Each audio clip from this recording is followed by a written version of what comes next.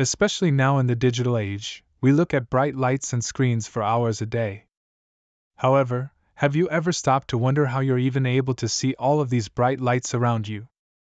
How are you able to tell what shape they are, what direction they're pointed, and where they start and where they stop? In our visual processing system, retinal ganglion cells do exactly this. They use center surround fields to analyze the contrast between sources of higher and lower light. They can have either an on or off center and a contrasting surround.